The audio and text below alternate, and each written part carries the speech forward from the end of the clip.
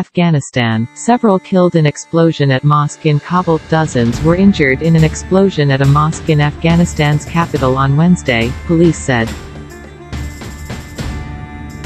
The attack comes about one year since the U.S.'s chaotic Afghanistan withdrawal.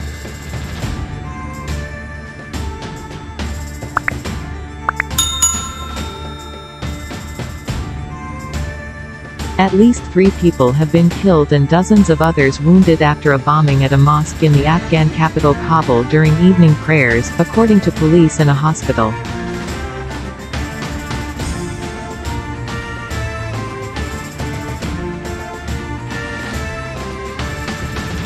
A security official told Al Jazeera that 20 people were killed in the blast and 40 others wounded.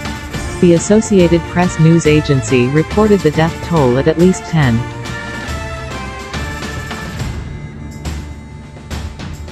Taliban government spokesman Zabihullah Mujahid confirmed there were dead and wounded, but did not specify how many.